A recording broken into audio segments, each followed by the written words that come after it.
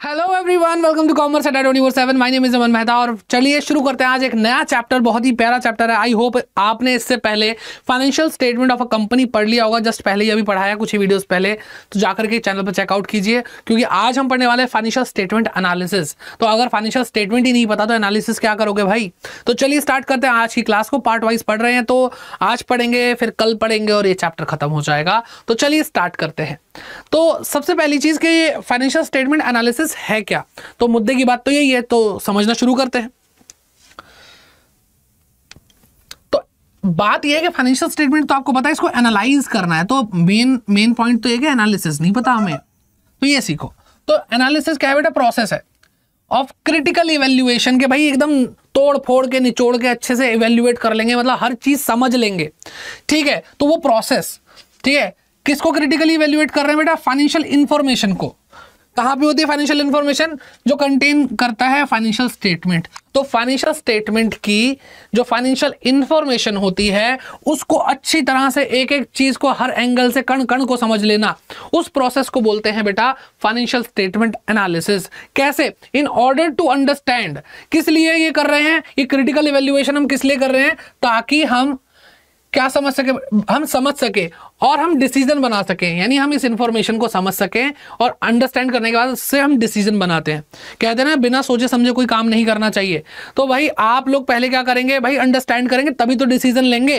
किसका डिसीज़न लेंगे? Regarding the operation of the firm कि भाई, अगर हम इंटरनल यूज़र हैं, यानी हम मैनेजमेंट में हैं, हम ओनर हैं या हम एम्प्लॉय हैं तो हम फर्म को ऑपरेट करने के लिए अगर डिसीज़न लेंगे तो पहले समझेंगे क्या क्या समझेंगे? फाइनेंशियल स्टेटमेंट की फाइनेंशियल इंफॉर्मेशन के क्रिटिकल इवेल्युएशन को। ठीक है? ओके जी। इसी को बोलते हैं फाइनेंशियल स्टेटमेंट एनालिसिस ये कट क्यों हो गया मुझसे? हाँ फाइनेंशियल स्टेटमेंट एनालिसिस बोलते हैं। Okay it is basically study of relationship ये हमें समझा के रहे बेसिकली एक स्टडी ऑफ़ रिलेशनशिप है अमंग वेरियस फाइनेंशियल फैक्ट जो जो बातें यानी फैक्ट जो इन्फॉर्मेशन हमें दी गई हैं, उसके बीच का रिलेशनशिप बना रहे, बना के बता रहे हैं फैक्ट और फिगर का। As given in the set of financial statement तो जो भी फाइनेंशियल स्टेटमेंट का पूरा सेट है, यानी statement profit and loss loss होता है। बैलेंस शीट होती है, और क्या होता है कैश फ्लो स्टेटमेंट होता है नोट थ्रू अकाउंट्स होता है statement of change in equity होता है तो ये सेट ऑफ़ फाइनेंशियल स्टेटमेंट है, जिनके फैक्ट और फिगर को यूज़ करके हम उनका रिलेशन बना रहे हैं, और इसी को हम फाइनेंशियल स्टेटमेंट एनालिसिस कह रहे हैं। ठीक है? तो आई होप आपको बहुत ही डिटेल में अच्छे समझ में आ गया होगा। कोई दिक्कत, परेशानी तो कमेंट बॉक्स आप अपना ही समझिए। कमेंट करिए। मैं वीडियो के बाद ज़रूर देखता हूँ कि भाई बच्चे कमेंट क्या कर रहे हैं और फिर उनको रिस्पॉन्ड करता हूँ ताकि उनकी जो कन्फ्यूज़न है वो दूर हो सके। फिर बात आती है purpose and significance of financial statement analysis कि भाई क्या पर्पस है? क्यों? क्या ज़रूरत है बनाने की? तो सिग्निफिकेंस भी देख रहे हैं पर्पस भी देख रहे हैं। फाइनेंशियल स्टेटमेंट एनालिसिस करने का। तो हम इसलिए कर रहे हैं ताकि हम प्रेजेंट कर पाए कॉम्प्लेक्स फाइनेंशियल डाटा को। सिंप्लीफाइड और अंडरस्टैंडेबल फॉर्म में। अब देखो, आप खुद सोचो अकाउंटिंग सबको आती है। कॉमर्स वालों को खुद को, कई बच्चे हैं जो ध्यान से नहीं पढ़ते, उनको नहीं आती। तो जो कॉमर्स से नहीं है, उनको थोड़ी दिक्कत हो सकती है। तो हम एनालिसिस करके पूरी पूरी दुनिया को हम दिखाना चाहते हैं कि भाई देखो, जो फाइनेंशियल स्टेटमेंट है, उसके अंदर जो डाटा है, उसको हम सिंप्लीफाई कर रहे हैं और उसको आप समझ पाओगे। ऐसे, ऐसा प्रोसेस है बेटा एनालिसिस ठीक है, इसलिए किया जाता है। दूसरा पॉइंट आता है टू जज the financial stability of the enterprise हम फाइनेंशियल स्टेटमेंट फाइनेंशियल स्टेबिलिटी जो होती है इंटरप्राइज की, उसको भी जज कर पाते हैं। एनालाइज करने वाला हर तरीके से समझ लेने का मतलब क्या है? अच्छा इतनी असेट है, इतनी लाइबिलिटी है तो मतलब हम असेट बेचेंगे तो लाइबिलिटी को हम सेटल कर पाएँगे? अच्छा। तो हमने उस चीज़ को भी समझा हमने हर चीज़ को समझा तो हम स्टेबिलिटी भी समझ पाएँगे। To measure the short term and long term solvency हम शॉर्ट टर्म में भी सॉल्वेंसी समझ पाएँगे और लॉन्ग टर्म में भी समझ पाएँगे। To measure the operating efficiency and profitability कि भाई हम जो ऑपरेशन कर रहे हैं, वो कितना एफिशिएंटली कर रहे हैं, उससे कितना प्रॉफिट हो रहा है एंटरप्राइज को।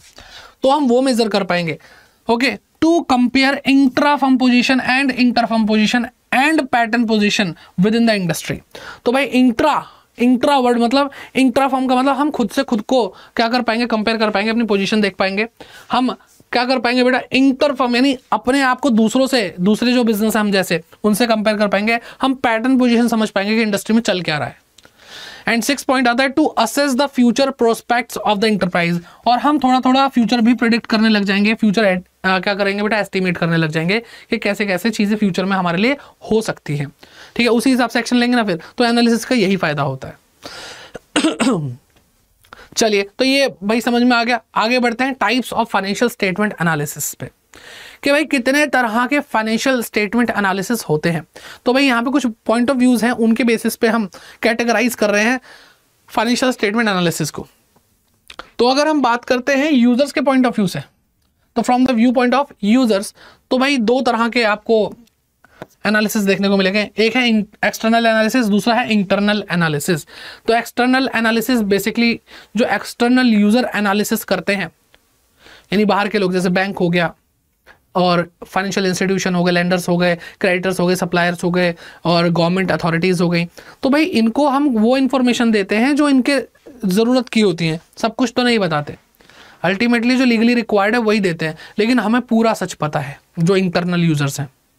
उनके पास तो अनफिल्टर्ड फाइनेंशियल स्टेटमेंट्स है और उसका एनालिसिस वो कर सकते हैं।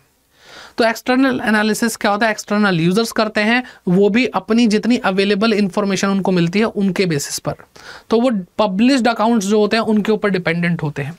तो लिखा गया है parties person who do not have access to detailed record कि भाई डिटेल्ड रिकॉर्ड तो है नहीं।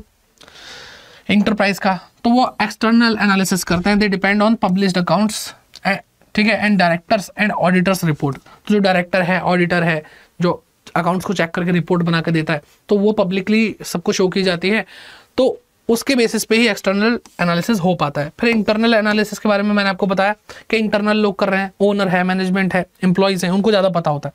तो the analysis conducted by the management to know और बेसिकली ओनर भी क्या करेगा? मैनेजमेंट ही करेगा ये काम। तो इसलिए मैनेजमेंट को यहाँ पे पूरा हाईलाइट किया to know the financial position वो जानना चाहता है फाइनेंशियल पोजीशन क्या है ऑपरेशनल एफिशिएंसी हम काम कितने एफिशिएंटली कर रहे हैं। Of the organization is known as the internal analysis ठीक है तो इसको हम बोलते हैं इंटरनल एनालिसिस फिर आता है ऑब्जेक्टिविटी के पॉइंट ऑफ़ व्यू से। ये क्या होता है? धीरे धीरे भाई मज़ा आने लग जाएगा। ऑब्जेक्टिविटी के पॉइंट से अगर हम देखें तो दो तरह के होते हैं शॉर्ट टर्म और लॉन्ग टर्म एनालिसिस तो शॉर्ट टर्म में हम यही देख रहे हैं कि भाई शॉर्ट टर्म में अपनी ऑब्लिगेशन चुका पाएँगे, नहीं चुका पाएँगे? शॉर्ट टर्म में हमारी अर्निंग कैपेसिटी क्या है? शॉर्ट टर्म में हम कितना प्रॉफिट कमा सकते हैं? ये सारी चीज़। Such an analysis of financial statement is done to examine the liquidity profit earning capacity and short term solvency of an enterprise तो भाई, कम समय के अंदर 12 महीने के अंदर अंदर की बातें कर रहे हैं, उसको शॉर्ट टर्म एनालिसिस बोल रहे हैं। फिर आता है लॉन्ग टर्म एनालिसिस जो भाई 12 महीने से ज़्यादा की बातें होंगी जहाँ पर। तो such an analysis of financial statement is done to examine the long term financial stability कि बिज़नेस स्टेबल है भी या नहीं है कि बंद हो जाएगा ये? तो उसके लिए हम ये क्या करते हैं बेटा? लॉन्ग टर्म एनालिसिस करते हैं and long term solvency check करते हैं। As well as future profit earning capacity और फ्यूचर में भाई कितना प्रॉफिट कमाने का दम रखता है हमारा बिज़नेस वो चेक कर लिया जाता है लॉन्ग टर्म एनालिसिस से। यहाँ तक बढ़िया है। अब आगे पढ़ेंगे तो एकदम मज़ा ही आ जाएगा। क्योंकि अब आएगा मज़ा भाई। यहाँ पे पेपर में ये चीज़ें बहुत इंपॉर्टेंट आती है। ये जो है। तो टाइम स्पेन के पॉइंट ऑफ़ व्यू से अगर हम देखें तो बेटा एक हॉरिजॉन्टल एनालिसिस होता है, एक वर्टिकल एनालिसिस होता है। हॉरिजॉन्टल में हमेशा ना रिप्रेजेंट करता हूँ चीज़ों को भाई हॉरिजॉन्टल ऐसे होता है और वर्टिकल ऐसे होता है। तो वर्टिकल यानी जो सीधा खड़ा हुआ हो और जो हॉरिजॉन्टल मतलब जो ऐसे लेटा पड़ा हो। हिंदी बोलते क्षैतिज, उसको बोलते उर्दवादर तो बेटा, जब भी मैंने आपको पढ़ाया है अकाउंट अगर आपने शुरू से मुझसे पढ़ी तो आपको पता होगा कि जो लाइन मैं यूज़ करता हूँ, किसके लिए करता हूँ बेटा? टाइम लाइन के लिए। टाइम लाइन के भाई अकाउंटिंग ये यहाँ से शुरू, यहाँ पे खत्म। तो ये जो है, ये टाइम लाइन को शो कर रही है, यानी अलग अलग टाइम की बात हो रही है। अलग अलग टाइम क्या है बेटा यहाँ पे? Many times many many time period तो जो हम हॉरिजॉन्टल एनालिसिस पढ़ेंगे, वो अलग अलग टाइम पीरियड की बात करेगा, और इसीलिए जब अलग अलग टाइम होते हैं तो टाइम की सीरीज़ बन जाती है, इसको टाइम सीरीज़ भी बोलते हैं हम टाइम सीरीज़ एनालिसिस ठीक है? तो देखो जरा it is also called dynamic analysis को डायनामिक एनालिसिस भी बोलते हैं।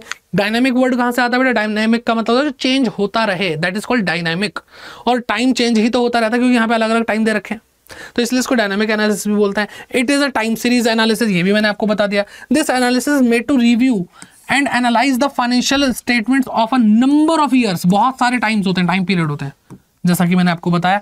And is therefore based on financial data taken for those year और बहुत सारे अलग अलग साल के डाटा जो होते हैं, उनको लेकर के हम ये एनालिसिस करते हैं। It shows comparison of financial data for several years against a chosen base year तो एक साल पकड़ लेंगे कि 2020 में हमारी ये परफॉर्मेंस थी, उसको कंपेयर करेंगे 2012 से, उसको कंपेयर करें 2015 से, उसको कंपेयर करें 2018 से वट ठीक है? अब भाई, जब हम एक डाटा को पकड़ रहे हैं तो अलग अलग टाइम है तो कंपनी एक है बिज़नेस एक है, उसको कंपेयर कर रहे हैं।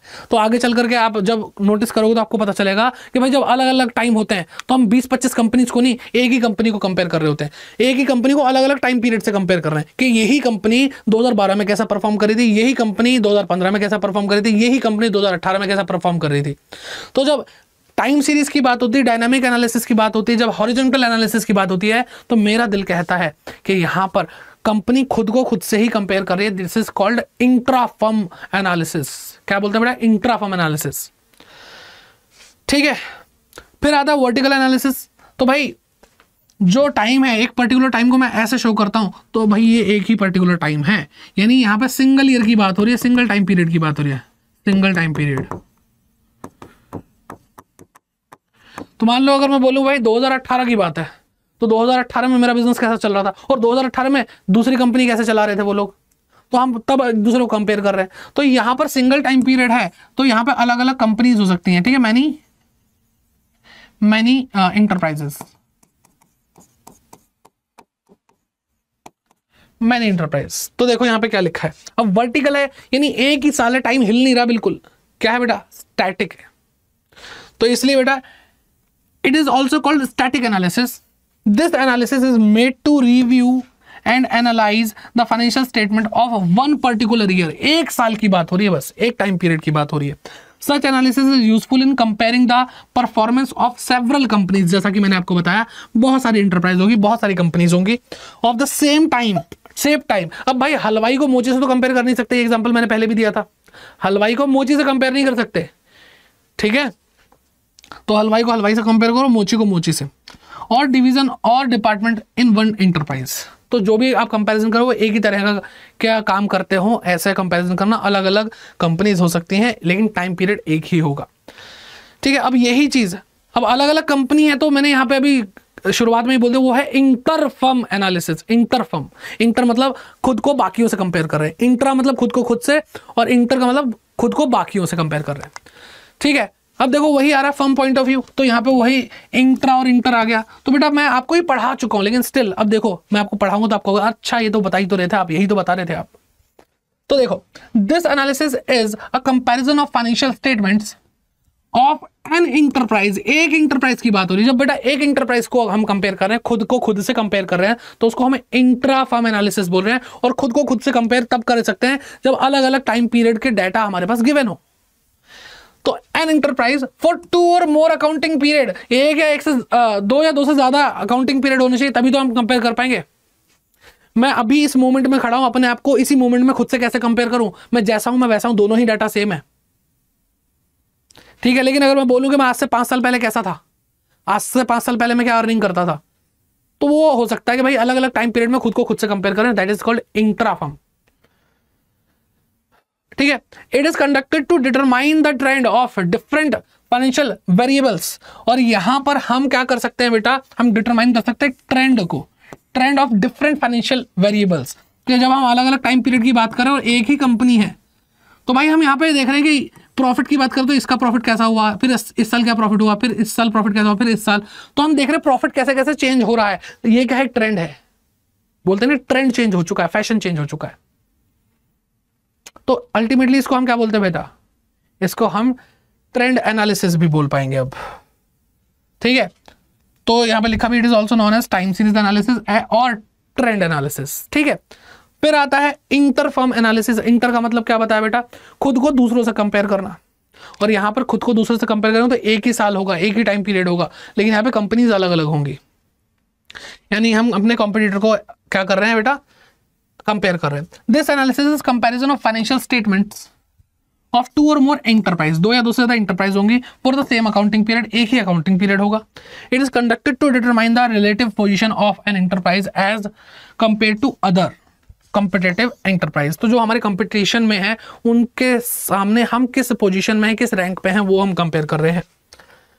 ठीक है? It is known as cross sectional analysis इसको हम क्रॉस सेक्शनल एनालिसिस भी बोलते हैं। बेटा, ये जो नाम बार बार आ रहे हैं ना अलग अलग अलग अलग उनको याद कर लो बेटा, क्योंकि एग्ज़ाम में आ जाते हैं एमसीक्यू टाइप पे, ठीक है? तो याद करना बहुत ज़रूरी है और आपको तभी चीज़ें आसानी से समझ में आएँगी। फिर आते हैं limitation of financial statement analysis तो आप, आपको इससे पिछले चैप्टर में मैंने आपको लिमिटेशन ऑफ़ फाइनेंशियल स्टेटमेंट पढ़ाया था। तो बेटा, ये फाइनेंशियल स्टेटमेंट का ही तो एनालिसिस है तो उसकी लिमिटेशन और इसकी लिमिटेशन में कुछ तो सिमिलैरिटी होगी। तो पहला financial statement analysis does not consider price level changes तो बेटा ये तो वहाँ पे भी पढ़ा था हमने। ठीक है प्राइस लेवल चेंजेस को कंसिडर एनालिसिस भी नहीं करता। फाइनेंशियल स्टेटमेंट एनालिसिस में be misleading without the knowledge of change in accounting procedure कि अगर हम स्ट्रेट लाइन मेथड लगाते हैं और उसको हम डब्ल्यू में एकदम से हम डेप्रेशन लगाने लग जाए तो अगर हमें ये नहीं पता होगा तो हम भाई आ, हम मिसलीड हो जाएँगे। हमें गलत पता चलेगा कि भाई अच्छा एकदम से भाई इनके प्रॉफिट बढ़ गए या घट गए तो ऐसा कैसे हो गया? तो जब तक हमें ये नहीं बताओगे प्रोसीजर चेंज हुआ तो हम कैसे अपने डिसीज़न बना पाएँगे? तो ये लिमिटेशन है। Financial statement analysis just a study of interim report ठीक है? तो फाइनेंशियल स्टेटमेंट एनालिसिस जो है, वो देखो फाइनेंशियल स्टेटमेंट कहीं ना कहीं पर्सनल जजमेंट बहुत सारी चीज़ों से अफेक्ट होती है तो वो प्रॉपर एकदम रिपोर्ट नहीं देती इनकम रिपोर्ट देती है और उसी के बेसिस पे हम उसकी स्टडी कर रहे होते हैं। Monetary information alone is considered in financial analysis while non monetary aspect are ignored अब देखो बेटा, ये बिल्कुल ना, इसको ना घुमा करके दे दिया गया है। मॉनिटरी इन्फॉर्मेशन मतलब फाइनेंशियल इन्फॉर्मेशन यानी क्वालिटी को नहीं चेक करते, ये सिर्फ़ क्वांटिटी को देखते हैं। ठीक है तो ये वाली बातें भी बता दी। फिर सेम है ना सिमिलर फील होना चाहिए आपको। और अच्छे से पढ़ोगे तो बेटा चीज़ें आसान हो जाएँगी। ये नहीं कि इसकी लिमिटेशन अलग से याद करनी पड़ेगी, उसकी अलग से याद करनी पड़ेगी। बस पता चल जाएगा कि भाई बहुत सारे पॉइंट कॉमन है और हमें बस उसको किस तरह से रिप्रेजेंट करना है। फाइनेंशियल स्टेटमेंट एनालिसिस के लिमिटेशन बताते वक्त और फाइनेंशियल स्टेटमेंट का एनालिसिस उसका लिमिटेशन बताते वक्त। फिफ्थ पॉइंट आता है the financial statement are prepared on the basis of on going concept on going concept कौन सा बेटा? गोइंग कंसर्न के हमारे जो बिज़नेस है, वो चलता रहेगा नियर फ्यूचर में। कभी भी स्केल डाउन नहीं करें। It does not reflect the current position तो ये भी बेटा हमने उसमें पढ़ा हुआ है फाइनेंशियल स्टेटमेंट की लिमिटेशन में। कि भाई गोइंग कंसर्न के बेसिस पे है तो भाई प्रूडेंस कॉन्सेप्ट के हिसाब से हम फ्यूचर की भी लॉस वगैरह सारे अभी कंसीडर कर रहे हैं। तो हम बेटा करंट पोजीशन को थोड़ी चेक कर रहे हैं। हम तो फ्यूचर को भी मिक्स कर लिया पास्ट हिस्टोरिकल कॉन्सेप्ट को भी लगा रखा है। प्रेजेंट कहाँ गया भाई? प्रेजेंट कहाँ चला गया? तो करंट पोजीशन शो एक्चुअल में नहीं हो पाती है यहाँ पर। ठीक है गोइंग कॉन्सेप्ट की वजह से। ओके चलिए तो आई होप ये समझ में आ गया। अब बात करते हैं parties interested in financial statement analysis कौन कौन सी पार्टीज़ हैं जो इंटरेस्टेड है फाइनेंशियल स्टेटमेंट के एनालिसिस में? तो भाई, ये वाला हमने पिछले टाइम पे भी पढ़ा था कि यूज़र्स ऑफ़ फाइनेंशियल स्टेटमेंट तो भाई सेम ही तो होंगे। ऑलमोस्ट सेम होंगे, एक दो ज़्यादा कर दिए नाम तो उससे कोई ज़्यादा फ़र्क नहीं पड़ता। वो भी पब्लिक का ही पार्ट है, सबको ही ज़रूरत होती है। तो फाइनेंस मैनेजर लिखा है। हाँ तो भाई जो फाइनेंस मैनेजर उसको चाहिए तो हम मैनेजमेंट बोलते हैं, तब भी क्या हो गया? बाकी मैनेजर्स को भी ज़रूरत पड़ी जाती है। वो अलग बात है कि भाई फाइनेंशियल मैनेजर को ज़्यादा ज़रूरत पड़ती है। ट्रेड क्रेडिटर जो हमारे क्रेडिटर है इन्वेस्टर्स हैं गवर्नमेंट है कस्टमर है रिसर्चर्स हैं। ठीक है? अब भाई फाइनेंस मैनेजर बोला मैनेजमेंट भी बोल रहे हैं। चलो ठीक है। बैंकर है लेंडर है जो उधार दे रहे हैं। लेबर यूनियन है रेगुलेटरी अथॉरिटीज़ हैं टैक्स अथॉरिटीज़ हैं। अब गवर्नमेंट बोल दी ये रेगुलेटरी अथॉरिटी टैक्स अथॉरिटी ये बोलने की ज़रूरत ही नहीं थी। अदर पार्टीज़ हैं अदर में तो सब कुछ ही आ जाता है। तो बहुत कोई लोग हैं। अब आपको कुछ नाम लिखने हो तो ये आपके सामने है, इसको आप लिख सकते हैं। ठीक है? तो ये भाई हमने पढ़ा। और आई होप आपको यहाँ तक समझ में आ गया होगा। हमने एक पार्ट पढ़ लिया। अगली क्लास में इस चैप्टर को पूरा फिनिश कर देंगे।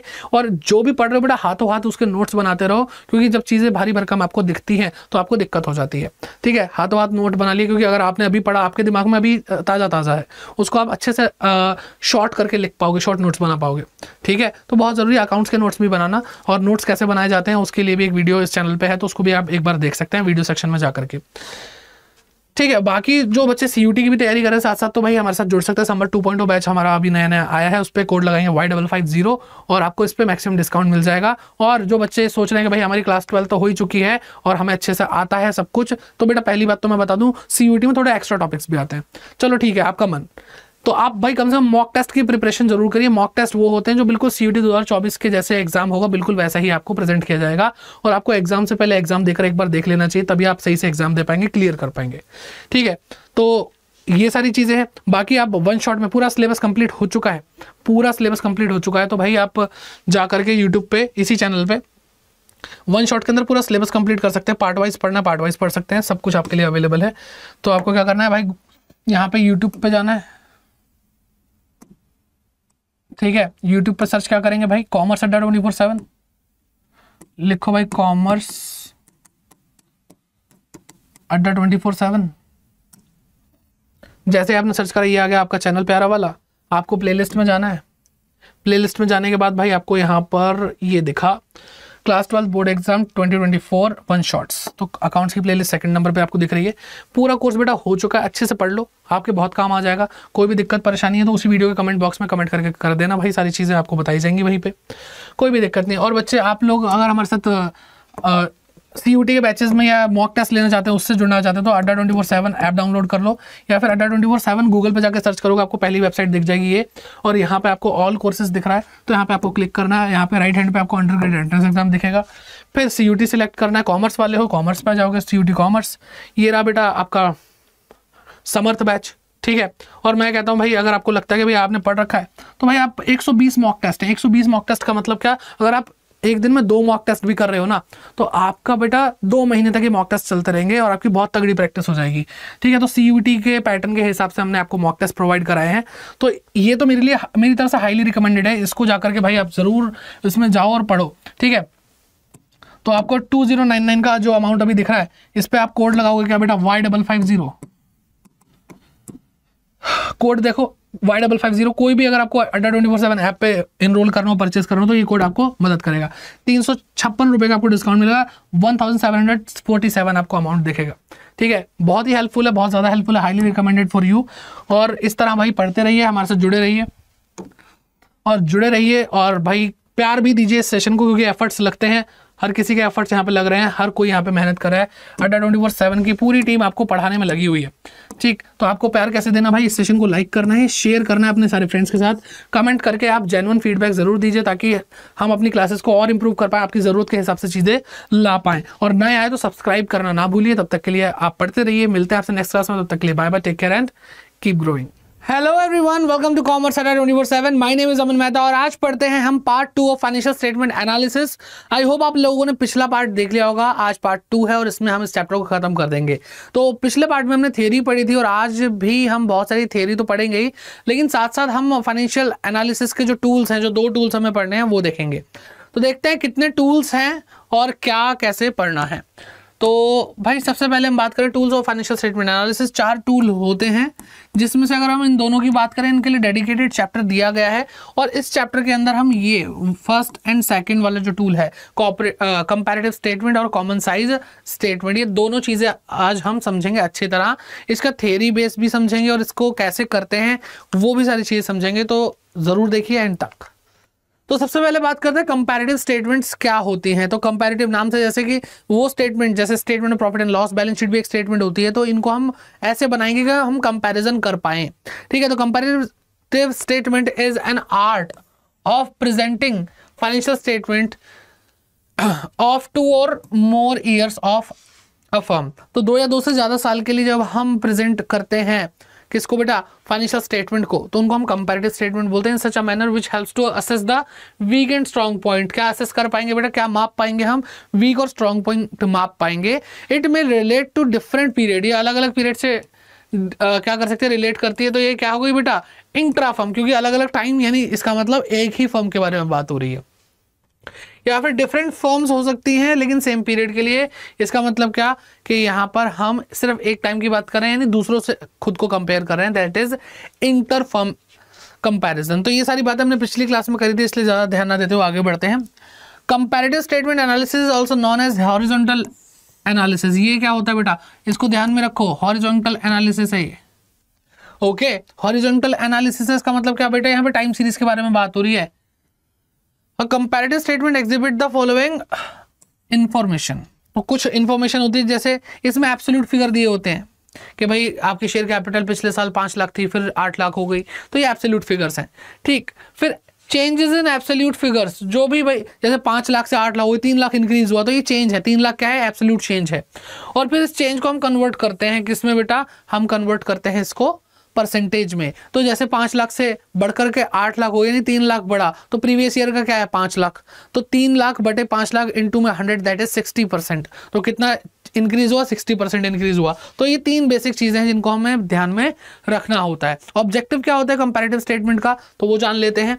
To know the nature of changes influencing financial position तो भाई यहाँ पर हम नेचर जानना चाहते हैं उन चेंजेस का जो हमारी फाइनेंशियल पोजीशन को इन्फ्लुएंस कर रहे हैं।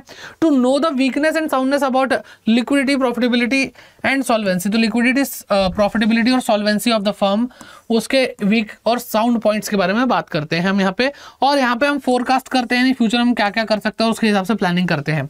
फिर बात करते हैं टाइप्स ऑफ़ कंपेरेटिव स्टेटमेंट तो भाई सिंपल सी बात है फाइनेंशियल स्टेटमेंट को जब हम प्रेजेंट करते हैं इस तरीके से दो या दो से ज़्यादा साल के लिए तो बेटा वो क्या हो जाता है? वो कंपेरेटिव स्टेटमेंट होती है। फाइनेंशियल स्टेटमेंट है क्या? एसपीएल और बैलेंस शीट तो यहाँ पे कंपेरेटिव एस और कंपेरेटिव बैलेंस शीट बन जाएगी। एस कंपेरेटिव और बैलेंस शीट भी कंपेरेटिव बस नाम के आगे कंपेरेटिव लगाना है। ठीक है? कुछ स्ट्रक्चर में चेंज आएगा, बाकी तो फॉर्मेट में चेंज सेम है, लेकिन कॉलम कुछ एक्स्ट्रा बनेंगे, बस और कुछ नहीं है।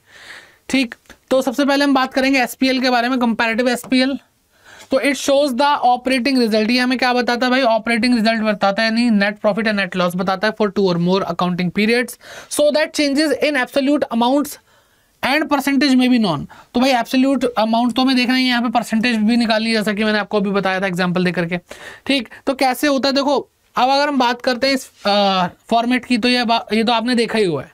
ये तो आपने देखा ही हुआ है कि भाई पहले रेवेन्यू फ्रॉम ऑपरेशन फिर अदर इनकम फिर टोटल इनकम आते हैं, फिर सारे एक्सपेंसेस को लाइन से लिखते हैं, फिर टोटल एक्सपेंस आते हैं, फिर टोटल रेवेन्यू से टोटल एक्सपेंस माइनस होता है, फिर इनकम टैक्स माइनस होता है, फिर आपका प्रॉफिट आफ्टर टैक्स आ जाता है। तो मेन गेम यहाँ पे है जो ये कॉलम है। कंपेरेटिव स्टेटमेंट में कंपेरेटिव स्टेटमेंट की वजह से जो आपका एस उसके अंदर कहाँ पे चेंज आ रहा है बेटा? यहाँ पे चेंज आ रहा है। आपने क्या देखा होगा बेटा? एक अमाउंट का कॉलम देख लिया होगा, दो देख लिए होंगे अमाउंट के। लेकिन यहाँ पर क्या है? यहाँ पे प्रीवियस ईयर भी है, यहाँ पे करंट ईयर भी है। इन ये क्या एब्सोल्यूट फिगर्स हैं? इन दोनों का डिफरेंस जो निकाल के हम यहाँ पे लिखेंगे तो एब्सोल्यूट चेंज आ जाएगा। और इस एब्सोल्यूट चेंज को हम क्या बेटा परसेंटेज में कन्वर्ट करके लिखेंगे। जैसे कि मैंने आपको भी समझाया भी था एग्ज़ाम्पल फिर से दे देता हूँ कि भाई मान लो आपकी जो रिवेन्यू है, पहले भाई चार लाख थी, अब पाँच लाख हो गई है। क्या हो गया पाँच लाख। तो चेंज कितना है बेटा? एक लाख का चेंज आया। परसेंटेज निकालो तो बेटा हमेशा प्रीवियस ईयर को क्या करोगे बेटा? बेस बनाओगे। तो एक लाख बटे चार लाख इंटू में हंड्रेड क्या हो गया बेटा? ट्वेंटी फाइव परसेंट चेंज आ गया इंक्रीज आ गया। तो इस तरीके से हर आइटम का आप निकालते हुए चलेंगे, ठीक है? आसान है। तो ये चीज़ आपको ध्यान रखनी है। फिर बात करते हैं कंपैरेटिव बैलेंस शीट के बारे में। तो यहाँ पे भी क्या होगा? यहाँ पे बेटा कंपैरेटिव है तो इसका मतलब ये ये ये ये ये चार कॉलम तो होने ही हैं। और बाकी जो इस साइड का फॉर्मेट आपको दिख रहा है, वो सेम है जो आपने फाइनेंशियल स्टेटमेंट ऑफ़ कंपनीज़ में पढ़ा है। ठीक है? तो इस बात का भाई सिंपल ध्यान रखें, बिना एकदम, बिना वजह परेशान नहीं होना कि अरे ये क्या आ गया। कुछ भी नहीं सेम वही है, बस कॉलम चार। एक्स्ट्रा ओके तो कंपेरेटिव बैलेंस शीट क्या है भाई? यहाँ पे सिंपल सी बात है कि एनालिसिस कर रहे हैं each item of asset equity liability for two और मोर ईयर्स या periods so that changes in absolute amount and percentage में बी नॉन तो बार बार यही बोलेंगे so that changes in absolute amount and percentage में बी नॉन तो बहुत सिंपल है भाई अल्टीमेटली हम कंपेरेटिव स्टेटमेंट बना ही इसलिए रहे ठीक, अब इसकी शक्ल देखो बेटा, वही है। अब फॉर्मेट तो इतना बड़ा है जूम करके दिखाने का क्या फ़ायदा है? क्योंकि जब हमें ध्यान ही सारा इस पे इस पे इस पे और इस पे देना तो बेटा ये वही देखो प्रीवियस ईयर करंट ईयर इन दोनों को माइनस करके यहाँ पे वो चेंज लिख देंगे। इस चेंज को, ये जो आपका चेंज आया, उसको प्रीवियस ईयर के डाटा से मल्टीप्लाई करके हंड्रेड से मल्टीप्लाई मल्टीप्लाई कर देंगे। आ जाएगा बेटा। सेम जैसा भी हमने करा यहाँ पे। तो ये चीज़ें इतनी सिंपल हो जाती हैं। अगर आप इसको करने पे आओ, बहुत ही ज़्यादा आसान हो जाती हैं। ये चैप्टर वाकई में, जब थ्योरी है, इसको थ्योरी याद करना थोड़ा आपको एक बार को टिपिकल लग सकता है। बट ये बहुत सिंपल चीज़ है, अगर आप छोटी छोटी चीज़ें ध्यान देते तो। जैसे प्रीवियस से डिवाइड करना होता है। ठीक है? थ्योरी में क्या पूछ लेंगे कि आपका जो एब्सोल्यूट अमाउंट है, वो दो अमाउंट है, उससे और क्या क्या होता है? तो हमें यहाँ पे तीन चीज़ें ध्यान रखनी जैसा बताया गया था। दो एब्सोल्यूट अमाउंट होंगे दो साल के, उसका एब्सोल्यूट चेंज निकालेंगे और परसेंटेज तो एक, दो, तीन। ये तीन बातें जिसकी वजह से चार कॉलम बनते हैं फॉर्मेट में। फिर बात करते हैं कॉमन साइज़ स्टेटमेंट इसका बहुत बढ़िया एग्जांपल मैं आपको देना चाहूँगा कि आप क्या कर रहे हैं भाई? एक स्मॉल स्केल बिज़नेस को एक लार्ज स्केल बिज़नेस से कंपेयर कर रहे हैं कि दोनों में से ग्रोथ किसकी अच्छी हो रही है? ठीक है, इसका मैं कई बार एग्ज़ाम्पल भी देता हूँ। क्या एग्ज़ाम्पल देता हूँ? कि भाई अगर मान लो एक बहुत बड़ा मॉल है तो मॉल का भाई पिछले साल का जो रेवेन्यू आया था, वो मान लो दो करोड़ रुपए आया था और इस बार वो दो करोड़ बीस लाख हुआ। ओके लेकिन एक छोटी सी दुकान उसके बगल में खुली। वो पिछले साल उसने कमाया था एक लाख रुपए, लेकिन अब डेढ़ लाख रुपए कमा रही है इस साल। तो अल्टीमेटली ग्रोथ किसकी ज़्यादा है? तो आप क्या देखोगे? पचास हज़ार रुपये तो बढ़े दुकान के। लेकिन मॉल ने तो बीस बीस लाख रुपए एक्स्ट्रा कमाए तो ज़्यादा किसकी है? फिर भी ग्रोथ ज़्यादा दुकान की ही है। क्यों? क्योंकि हमने दोनों को परसेंटेज में देखा कि भाई दो करोड़ का बीस लाख दस परसेंट ही होता है तो इसकी दस परसेंट ग्रोथ है। और अगर हम दुकान की बात करें तो एक लाख से डेढ़ लाख हो गया दैट मीन्स कि उसने पचास हज़ार रुपये एक्स्ट्रा कमाया। तो उसकी पचास हज़ार रुपये तो निकालेंगे तो फिफ्टी परसेंट ग्रोथ है। तो इससे समझ में आता है कि भाई ग्रोथ किसकी ज़्यादा, दुकान की है। अमाउंट मैटर नहीं करता। तो हमने करा क्या है बेसिकली हमने उनके रिटर्न को, यानी जो प्रॉफिट्स आए हैं, उनको हमने कन्वर्ट कर दिया कॉमन साइज़ में, यानी परसेंटेज में। दस परसेंट और पचास परसेंट अब वो पचास परसेंट पचास हज़ार है और जो दस परसेंट है वो बीस लाख है। तो एब्सोल्यूट टर्म्स में तो वो जो दस परसेंट है वो ज़्यादा है, लेकिन एक्चुअल जो रिलेटिव टर्म है, यानी जो परसेंटेज है, वो किसकी ज़्यादा है बेटा? आपके दुकान वाले की। ठीक तो इसलिए कॉमन साइज़ इस तरह से फ़िल्म में आता है ताकि हम आसानी से कंपेयर कर सके हर चीज़ को परसेंटेज में कन्वर्ट करके। ठीक तो देखो these are the statements in which amount of individual item of balance sheet and income statement of four to or more year are written. तो भाई सिंपल सी बात है, दो या दो से ज़्यादा साल का अमाउंट यहाँ पे लिखा होता है। फिर these items are further converted into percentage और यहाँ पर हमने क्या करा बेटा? दो एब्सोल्यूट अमाउंट को माइनस करके उसका एब्सोल्यूट चेंज नहीं निकाला। हमें दो बैलेंस दिए थे, हमने उसका चेंज ना निकाल के, बल्कि उन दोनों को ही परसेंटेज में कन्वर्ट कर दिया। ठीक तो यहाँ पे क्या हो गया?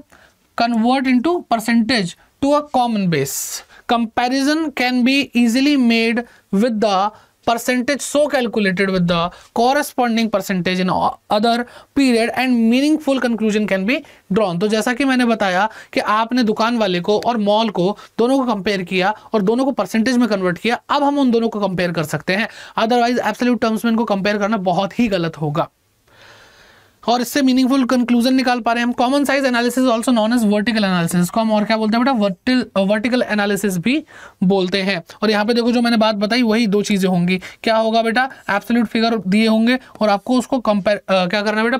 कन्वर्ट करना है परसेंटेज फिगर्स में। बस, और कुछ नहीं। तो इसका फॉर्मेट भी देखेंगे अभी।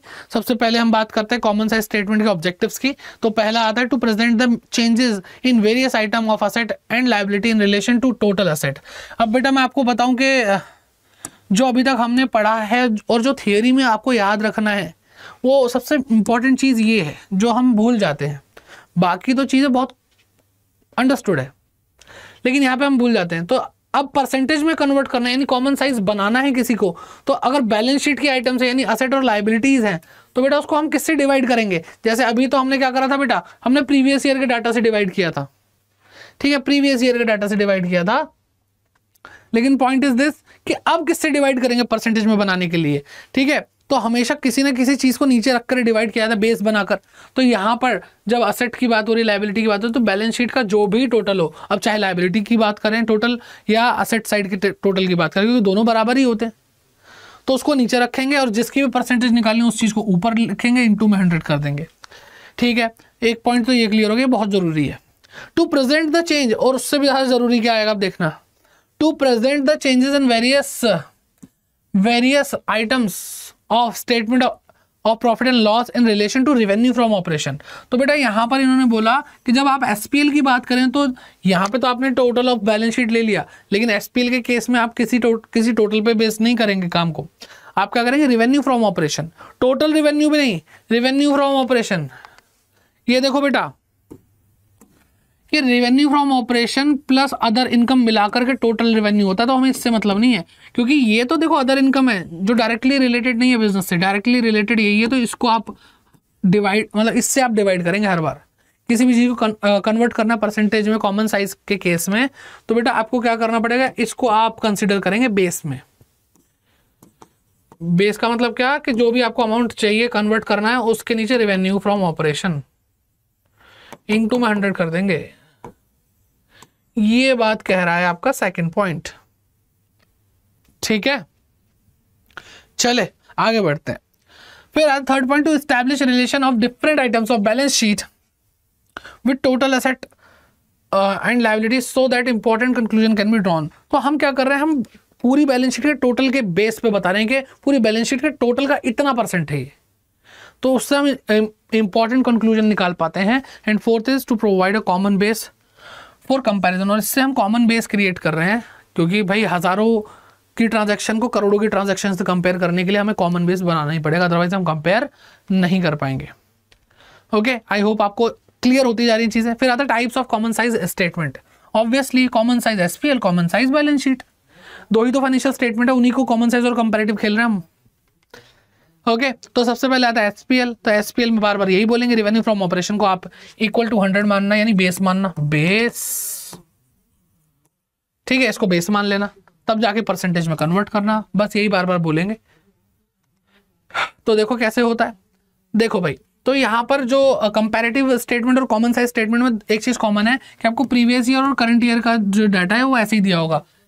ठीक है लेकिन यहाँ पे नया क्या है? ये है कि इसको भी परसेंटेज में कन्वर्ट करना है और इसको भी परसेंटेज में कन्वर्ट करना है।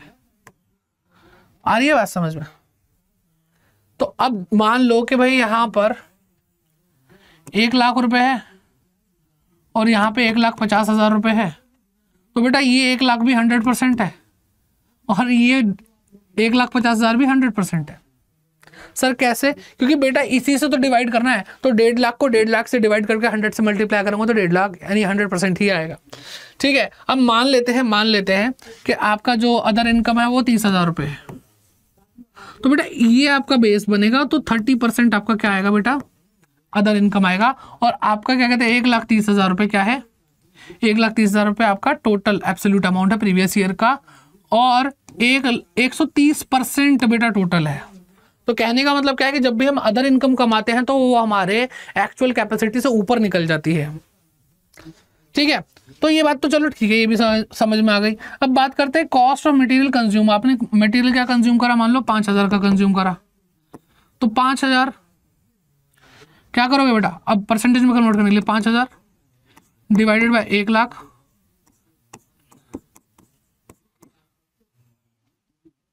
ठीक है? तो क्या आ रहा है बेटा? पाँच परसेंट आ रहा है। तो आपको करना क्या बार बार इसको या इसको। प्रीवियस ईयर का डाटा तो प्रीवियस ईयर में प्रीवियस ईयर की परसेंटेज कन्वर्ट करने के लिए प्रीवियस ईयर का डाटा लिया जाएगा। करंट ईयर का डाटा है। करंट ईयर में करंट ईयर की परसेंटेज में बनाने के लिए आपको करंट ईयर का ही डाटा यानी रिवेन्यू फ्रॉम ऑपरेशन लिया जाएगा। तो ये सिंपल सी चीज़ें हैं जो आपको ध्यान में रखनी है, जो बच्चे भूल जाते हैं।